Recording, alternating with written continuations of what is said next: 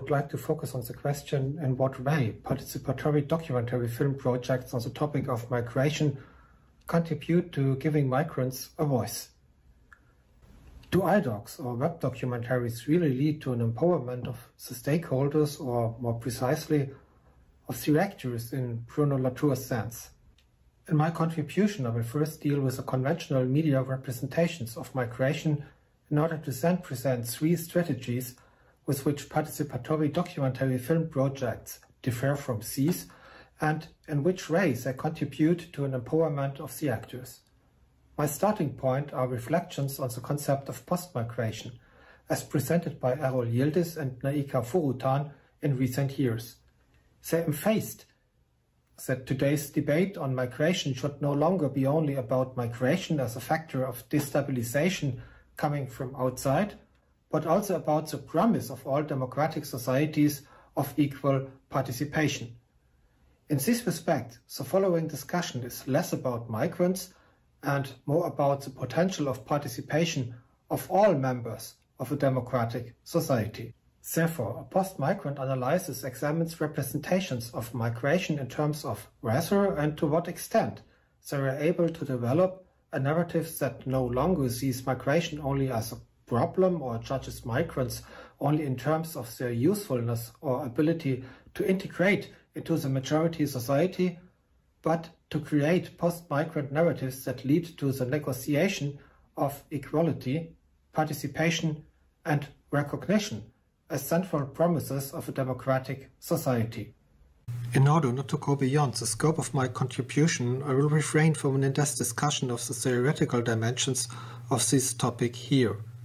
In my following remarks, I will first show how migration is treated in the exploitation cycle of mass media, and then outline three strategies web documentaries try to break this exploitation cycle. I'm especially interested in the question of whether and by which means web documentaries enhance the empowerment of the different actors. I will first come to the representation of migration in the familiar information formats of the mass media, the public image of migration is primarily shaped by the practices of daily newspapers, magazines, or television news, or their online publications. They are based on cliched images of refugees, for example, refugees in crowded, rickety boats on the coasts of the European Union, refugees outside the border fences, refugees crowding railway stations, refugees in overcrowded, improvised camps on the Greek island with inhuman hygiene conditions. The images are the result of the mass media's news practices. They were selected and transformed to illustrate and effectively color the word commons. In the narrative prevailing in 2015, for example, images of refugees were supposed to show both the humanitarian plight of the fugitives and the overstrain of the state. The images are part of a media exploitation cycle. The speed of dissemination increases the less individually designed they are, but the more often they appear, the faster they consume themselves. The cliched visual language of news editors does not lead to irritation. It tempts people not to look more closely. The images gradually disappear from the audience attention in the everyday routines of media use. In this sense, their practices do not hide these images, but level the problems they describe through endless repetition. They often serve far more to confirm preformed expectations than to transport really new information. The Transit Migration Research Group states in Germany, the cliches of refugees as victims, petitioners, or as their negatives dominate the human traffickers as criminal perpetrators. I now come to the strategies of web documentaries with which media makers try to break the exploitation cycles of the established mass media. In my research, I could discover above all, first, strategies of outbidding conventional forms of immersion, second, strategies of negotiating participation, and third, strategies of constructing relational complexity. these strategies cannot always be clearly separated from each other in the projects. Rather, they are sometimes mixed and overlapped in one and the same project. In the following, I will therefore only highlight the predominant features of one or the other strategy, even if the respective projects also show features of the other strategies. I am here only interested in a brief sketch of these strategies to illustrate how they work in order to understand also their aporias, which are inscribed in the dynamics of media use and always limit the effects of individual strategies. The strategy of outbidding conventional forms of immersion aims to involve the viewer in the presented action through emotional, spectacular, interactive, or ludic forms of immersion. This strategy is used by technical pioneers with artistic aspirations, but also to some extent by the established mass media themselves, as many journalists are aware that the format imposed by the mass media shorten and simplify the topic of migration all too much. In order to look behind the superficial conventions of media representations, they try to get closer to the people and to create a more authentic impression through emotionalization and personalization. The aim is to involve users in the media presentation through curiosity, immersion, or empathy. The problem with the outbidding strategy is that it has to outbid itself again and again. The problem is that the audience is already familiar with the events from the news and which already have a high level of emotionalization. To outbid this is difficult. A strategy of outdoing with at least one of the described features is necessary to get attention. This was impressively shown by the publication of the photo of Aylan Kurdi, the three years old Syrian boy who drowned and was washed up on the beach of Bodrum in early September 2015. Alan Kurdi was certainly not the first child to drown in the Mediterranean, but it was the first time that the audience looked into the face of a child's core at close range. The images spread rapidly through the media and influenced international public opinion for weeks. But the price for this emotionalization was an abstract iconization that detached the pictures from their concrete circumstances of origin. Hardly anyone remembered a little later the 15-year-old brother or mother of Aylan Kurdi or the 12 other people who were in the boat with him and who all drowned as well. In the long run, the emotionalization with such images only leads to a new cliched numbness and dulling of effect. Other cases of drowned children during dangerous crossings, which occurred afterwards, are only mentioned in brief. More and more media emotionalization is then required to achieve any effect at all. So cynicism seems to be inherent in the system itself. Nothing has captured this crisis like the picture that we began with last night. The three year old Syrian boy who washed up, drowned on a Turkish beach. The little boy whose lifeless body was washed ashore now has a name. Aylan Kurdi was three years old when he lost his life crossing the Mediterranean Sea to Europe. Over 300,000 people have attempted the dangerous journey to Europe this year, and more than 2,000 have paid with their lives, including many other children whose names we don't know. But it's these images of Aylan Kurdi that have finally brought the tragedy home to people in Europe and pricked the conscience of European leaders. My first example for the strategy of outbidding conventional forms of immersion is the 360-degree illustrated film Sea Prayer, based on the story of the same name by Afghan-American author Khaled Hosseini. In the film, which is about seven minutes long, a letter from a father to his son is read out from off. Both have fled to the Mediterranean coast during the Syrian civil war from their hometown Homs and now want to continue their dangerous flight across the sea. The letter once again evokes the lost past, which is illustrated in the form of a 360-degree animated sequence. My dear Marwan, in the long summers of your childhood, your uncles and I spread our mattress on the roof of your grandfather's farmhouse, outside of Homs.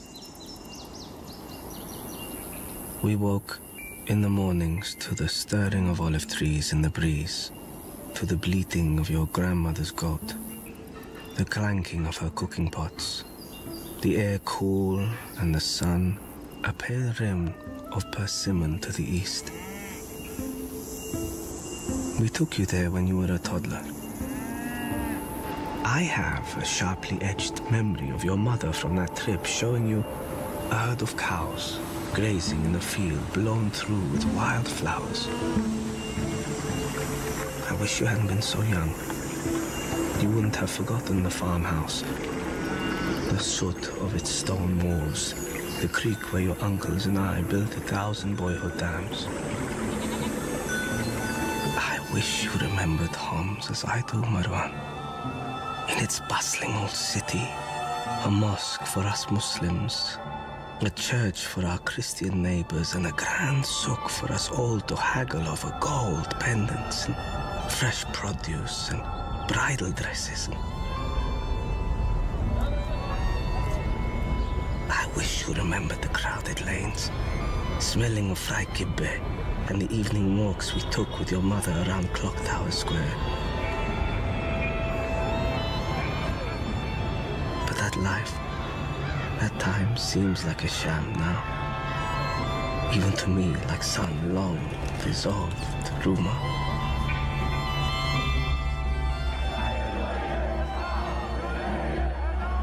First came the protests.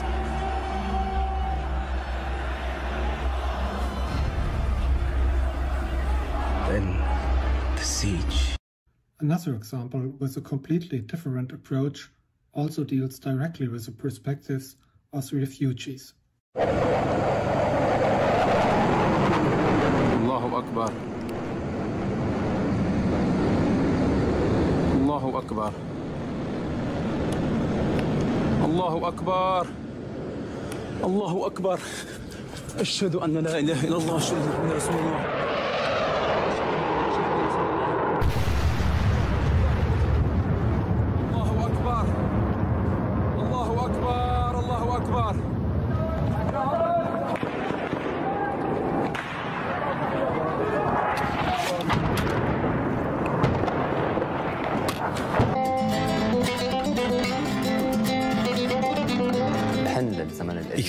Nach der alten Zeit.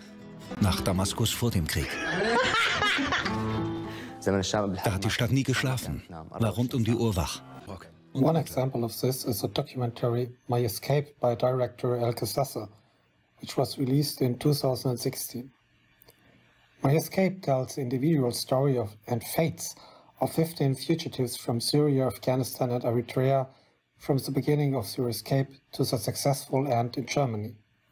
The film is structured by interviews, but it attracts the attention of the viewers primarily through spectacular smartphone recordings that document the events during the escape.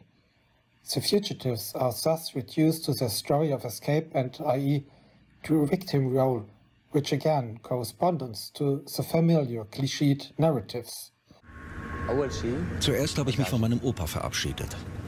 Wir sind über 70 Enkel. Alle sind im Ausland. Ich war der Letzte in Damaskus.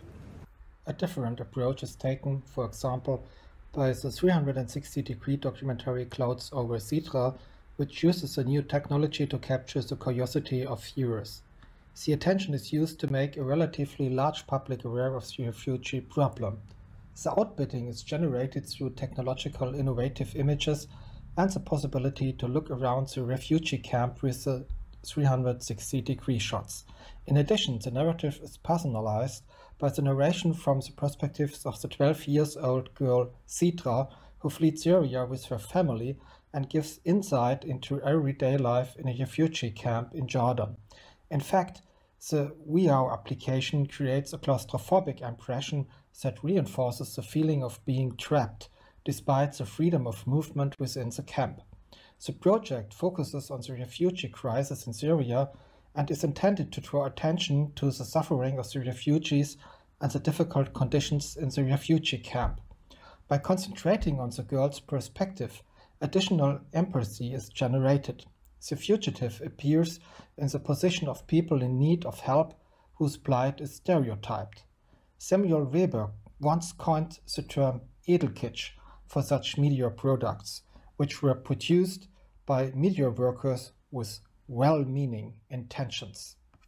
It should be noted that such web documentaries are created in the context of campaigns of the UNESCO, other NGOs and aid organizations. They function extremely efficiently, not despite, but because they rely on cliched narratives. The technology attracts attention and interest and, through emotional empathy, promotes the desire to help people. But the user's opportunities for participation are limited and do not go beyond the option of interactivity with the medium by clicking a donation button. Such web documentaries promote charity with their narratives, but hardly give rise to deeper consideration of solidarity. The first strategy of outdoing immersion reaches a limit. The problem with this strategy is that it only gets the attention of the audience if it shows the migrants as people in need of help. This may be good for raising funds, but it ultimately prevents an equal dialogue. The second strategy is negotiating participation and shows a complete different approach. This strategy is applied only in a few projects and pay attention to the inclusion of the perspective of the stakeholders, show migrants as individuals with their own power to act and negotiate new forms of participation, such as in so-called open space documentaries. A good example of this, as Yasmin Kamanchi pointed out in her analysis, is the project Dadaab Stories, which not only deal with a product-related form of participation in the final stage of a project, but which always comprise as well the organization of communication processes which are at the core of the production process. Until 2021, Dadaab in Kenya was the world's largest refugee camp, now closed, with up to 500,000 refugees at times. The camp is present in the news due to its gigantic dimensions and the amount of people in need of help, which can hardly be resolved into individual fates. In the Dadaab stories, the refugees, with the support of the organization FilmAid, have the opportunity to organize communication in the camp. They become media makers themselves and thus set in motion a communication process within the camp that helps the refugees to negotiate participation. However, the project's reach beyond the camp was severely limited and reached only a very small public. This seems to be a basic problem of this strategy.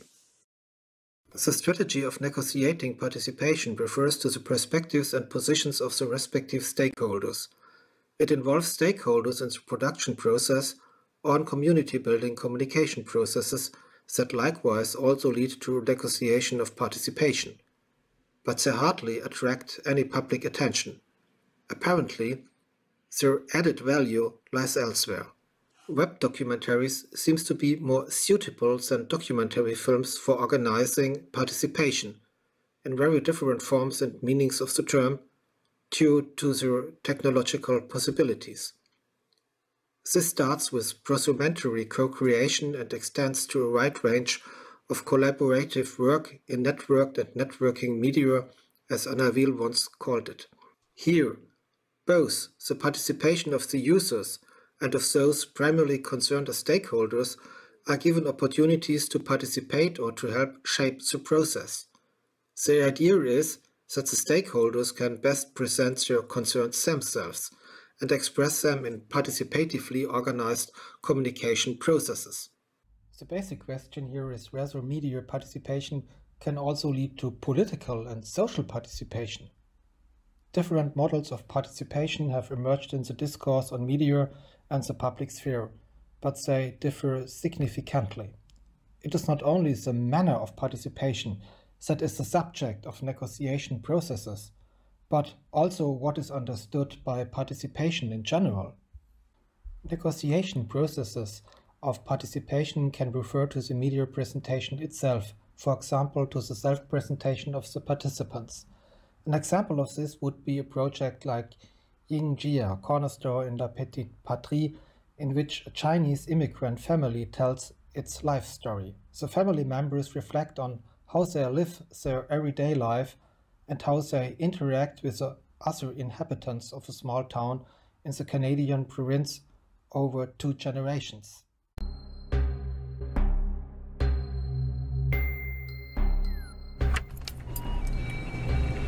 Mon nom Ping Liu. J'ai 42 ans. Je viens de la Chine. Je m'appelle Ying, j'ai 15 ans et je suis arrivée ici quand j'avais 9 ans. I will start with the project Let's Stay, which was realized in Berlin in 2017 and is supported by public funds. In this project, people who had to flee from their home countries tell the stories of flight and their lives in Germany. Let's Stay is a YouTube channel with an associate website which was developed by and with refugees and media professionals and aims to present migrants as media professionals in Berlin. It takes an immediate, direct approach to the participation of migrants, which can be seen in two different areas. On the one hand, the migrants are presented in front of the camera as media professionals, i.e., as actively acting subjects and on the other hand, the project team itself is partly made up of migrants who are given the chance to improve their professional skills and make them known through the project.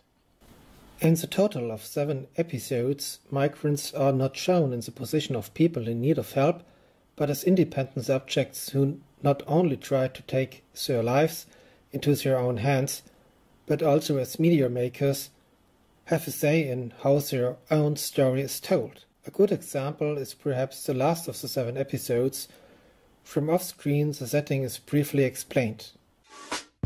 In der Waldemarstraße in Kreuzberg 36 in Berlin treffen wir uns heute mit Bino Bianski Bia Kuleka. Binos Heimatland ist Uganda.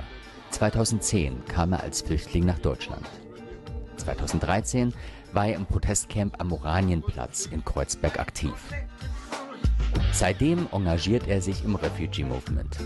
Sein Medium ist das Radio. 2016 startete er sein Radioprogramm Are Born Free Empowerment Radio. Zu empfangen auf 88.4 MHz in Berlin und 90.7 MHz in Potsdam. Für uns kam er auch vor die Kamera. Viel Spaß! Bino, first of all, tell us, when did you came to Germany? and hmm. how? Yeah, that's a very big thing, and uh, but uh, I will go short. Yes, I came here by plane, and I landed uh, directly here in Berlin at Tegel Airport, and uh, yeah, right from Uganda. Of course, there, there's a destination, but uh, yeah, I came by plane. Yeah. And when and how did you get engaged with refugees movement? Uh, my uh, arrival here, arrival, determined my involvement in the refugee struggle because uh, when I arrived, the only way to stay in Germany, I had to seek asylum. That's what they told me. I tried to talk to some people who were close to me, and uh, they said, but uh, no one knows you here. So maybe you were seeking asylum. even before I told them I want asylum, someone told me, are you a refugee? Are you seeking so, eh. The presenter in this episode, as in most of the other episodes, is Sami Ullah, a theatre maker from Pakistan who is trying out a new medium here. The protagonists here become co-creators of a narrative that shows them as active, successful media makers and that to that extent, contributes to their self-empowerment. In addition, they are strengthened in their media professions. Web subjects such as Let's Stay do not address a preformed mass audience, such as a television program, but rather a limited circle of users. The videos of Let's Stay have a reach of between 200 and 500 users, which is very small. With a view to similar projects, we can almost define a rule here. The more opportunities the migrants have to participate in the design of the project or are strengthened by it, the lower its reach. But even if projects like Let's Stay are hardly known beyond a local impact, the significance lies in a local space of action in which new professional opportunities and media expression possibilities are created for migrants. In the context of open space documentaries, I would also like to mention in particular the project Zuflucht, which was initiated by the University of Tübingen at the suggestion of Klaus Kleber, one of the most famous news presenters in German television.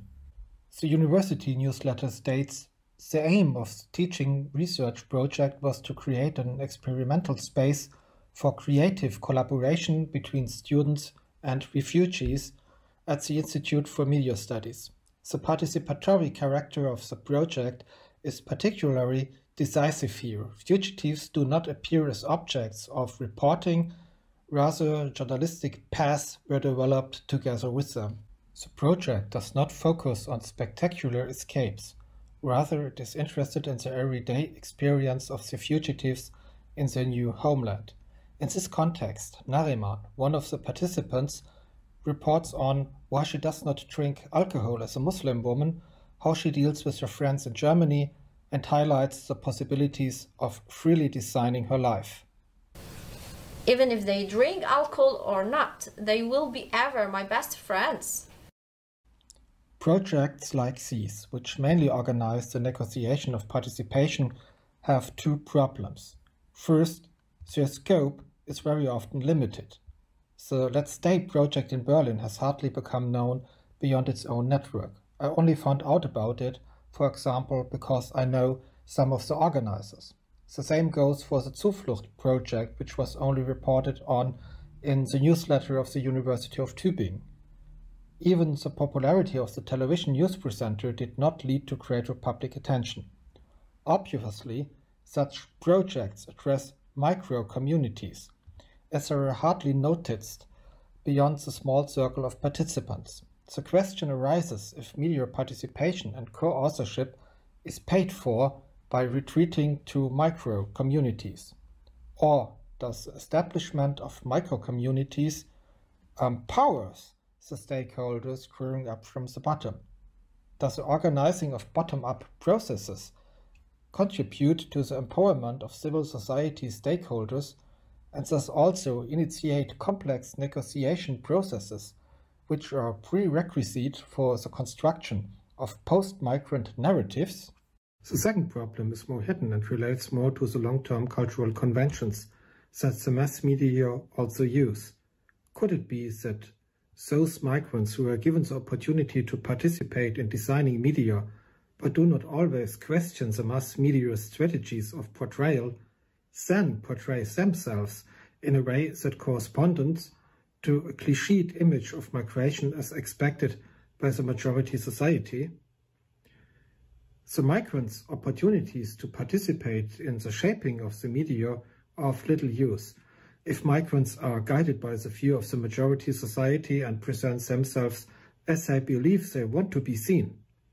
There is a danger that the image is familiar from the mass media are then merely imitated and are restaged.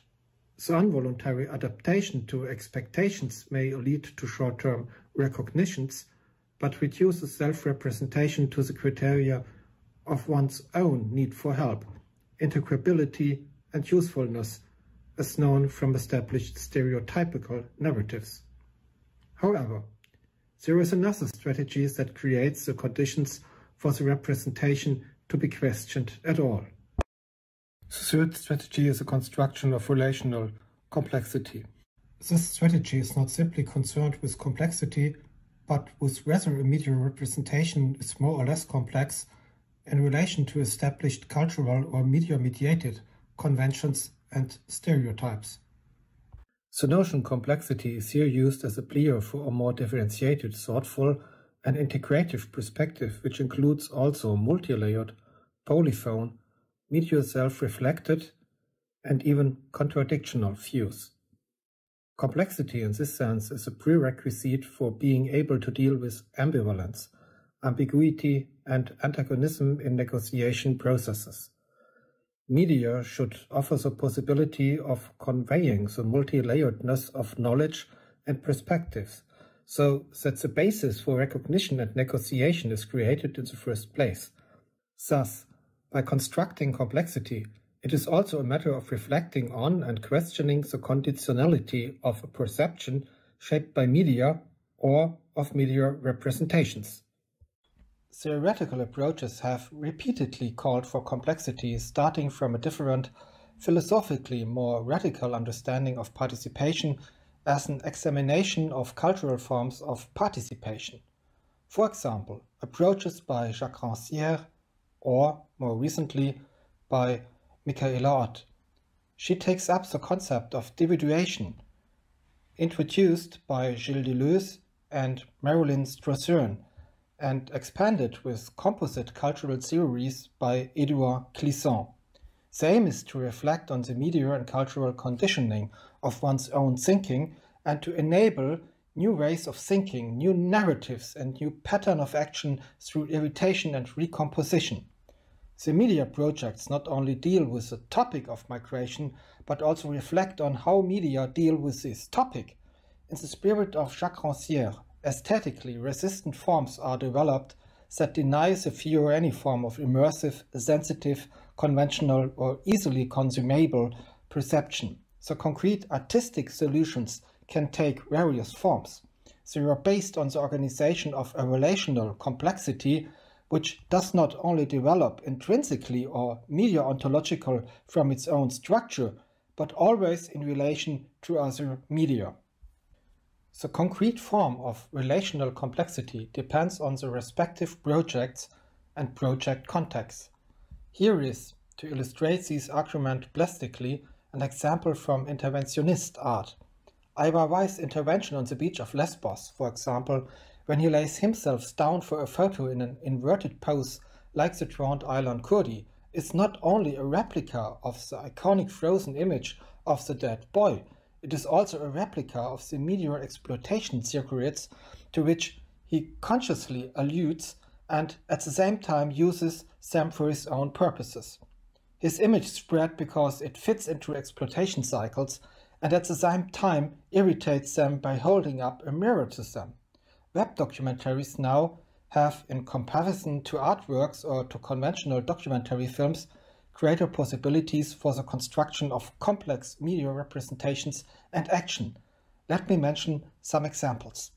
The 2020 released web documentary Bruderland deals with migrants who came to the GDR as political refugees or as students, or to earn foreign currency for the respective countries as so-called contract workers. This practice had unpleasant consequences for the migrants concerned because they were treated almost like forced laborers. In the GDR they were barracked and had hardly any say in the matter, and the sending states brutally exploited them and deprived them of their wages. The project follows on from the web documentary Hoyerswerda which was also produced by Out of Focus Film Productions five years ago and now tells the prehistory of the xenophobic attacks in Hoyerswerda. The structure of the Bruderland web documentation is relatively static. You can either follow the arrows or special links to new chapters in each case or open the menu. The menu again shows the overall structure which is organized like a small multimedia book.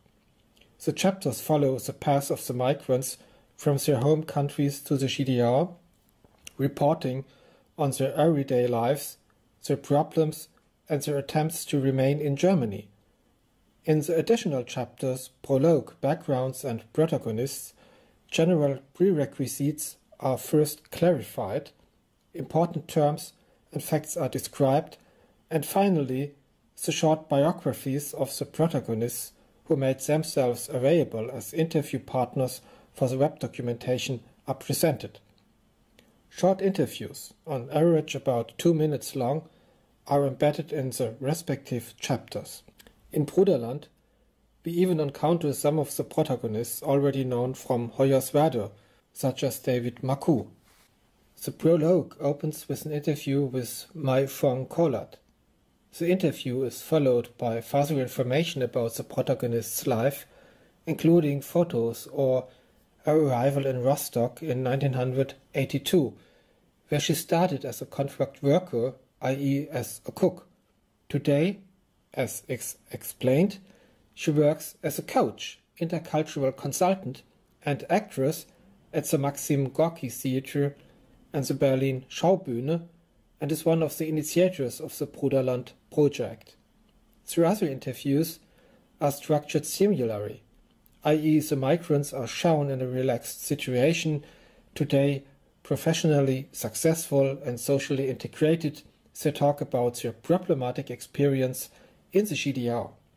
The protagonists are shown in a neutral but thoroughly composed, even designed environment whose style of furnishing corresponded more to an established middle class or educated bourgeois background. Here, for example, the well-known scientist Professor Dr. Ali Alemayehu Gebisa from the University of Kiel. The high-quality, well-lit shots, composed with sufficient depth of field and blurred background, corresponded to the state of the art of interview shots with experts. The protagonists take the appointment seriously and appear in formal clothing. Even if the interviews with the migrants refer to their memories of the past, i.e., to the difficult living and working conditions in the former GDR, the production ultimately follows the dramaturgy of a success story. All of them have succeeded in staying or returning to Germany and making a career here. The self portrayal of the migrants plays with the difference between the present of the project and the past of the remembered events. Here, memory not only serves to initiate a discourse, but also constructs a kind of habitus alongside the superficial narratives in the interviews, which change the meaning of the narrative. It is always a representation from the perspective of those who have learned to manage or to cope with the problems of the past, in which they are only tolerated as second class people, exploited and subjected to repression and to find their place in German society. This creates an encouraging, empowering narrative, as it can also serve as a role model for other migrants. Web documentaries like Bruderland rely on editorial moderation. The participation of migrants does not take place directly but is filtered and processed through editorial work. In this process, the participation of migrants is not about illustrating the perspective of the editorial team, but about the editorial team bringing the migrants' perspective to light and developing a narrative that empowers the migrants. This is especially successful when they are not presented as victims in need or help, but as self-empowered actors who actively tackle problems and develop solutions themselves. Bruderland has a relatively wide reach as the web documentation connects to well-known public discourses and offers interesting background information that users can access through interactive, self-determined reception. The fact that the web documentation won the prestigious Grimme Award may also have contributed to its dissemination. A completely different dimension of participation is evoked by the Limbo project, which does not rely on a direct form of participation, but rather artistically condenses authentic interviews with asylum seekers. Limbo is part of a campaign of the English daily newspaper The Guardian, which wanted to draw the attention of a broader public to the fate of asylum seekers in order to awaken empathy. Limbo addresses the situation of refugees who applied for asylum in the UK and are now waiting for the decision of the authorities. Between April 2016 and March 2017, 36,846 people applied for asylum. At that time, the number of those still waiting for a decision from previous cases was nearly 31,500. While asylum seekers wait for their Home Office hearing and subsequent decision, They live on a five pound a day and cannot work or choose where to live, while the Home Office aims to make an initial decision within six months. Many wait longer. Despite access to services from refugee support organizations, asylum seekers are mostly unable to travel, work, or learn English. The experimental documentary Limbo gives the audience a glimpse of the situation and the emotional state of those waiting. It is based on interviews with asylum seekers from 12 countries as well as lawyers specialized in immigration.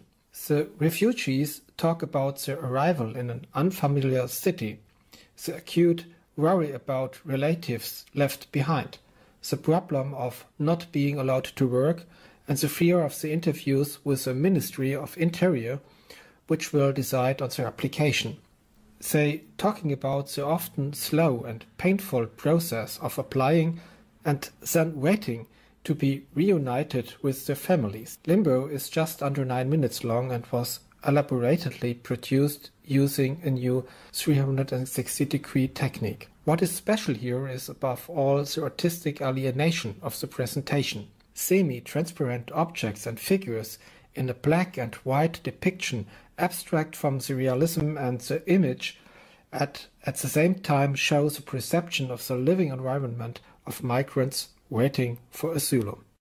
The many voice statements are excerpts of reports on the experience of asylum seekers in Great Britain which have been artistically condensed and visually alienated. They contain real experience and real statements and representations of migrants which, however, are not presented from the direct perspective of the asylum seekers, which would appear too cliched, but instead build up a technically alienated view which at the same time arouses the interest of the audience through the new technological possibilities, as well as questions the previous view of the audience. They, like you, are in limbo.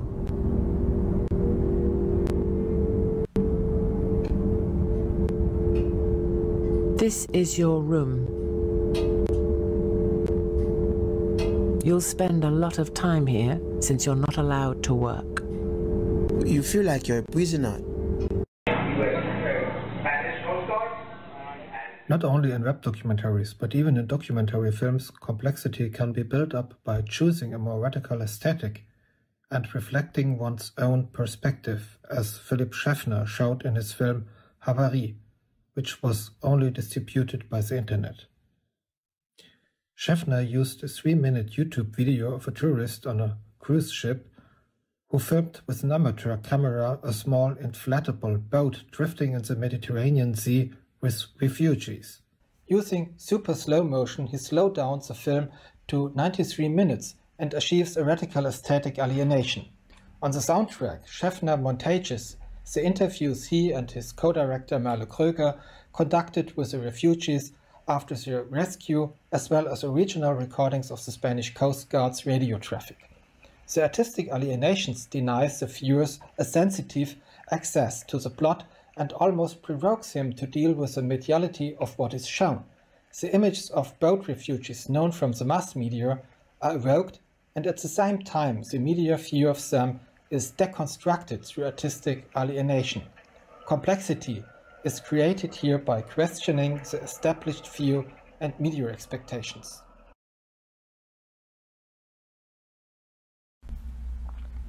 No matter in projects such as Havarie or web documentaries in a strict sense, the problem with media reflexive representations is that the subjects have only indirect influence on the representation the design of a media product depends on the author or an author collective. What the projects have in common is that they can no longer be fixed to a certain media format or genre. Their characteristic feature is precisely the form-busting argumentation which is sometimes distributed across several media, thus forming a hyper and transmedia argumentation structure which usually offers sufficient complexity to be able to negotiate ambivalent and antagonistic positions. If I should formulate a preliminary conclusion I would above all point to the importance of a media-ecological analysis of the concrete practices of the respective media milieus. There is no patent remedy for breaking through media exploitation cycles and certainly not for overcoming stereotypical narratives. It is only from the specific context and the treatment processes of the various media milieus, chosen as a reaction to them, that their respective meaning and effect can be determined. Even if all three of the different strategies presented here are justified, they always also have aporias and therefore do not automatically lead to the construction of post-migrant narratives. After all, it seems possible to use complex web documentaries to provide space for irritating negotiation processes in which different stakeholders can articulate their different ideas.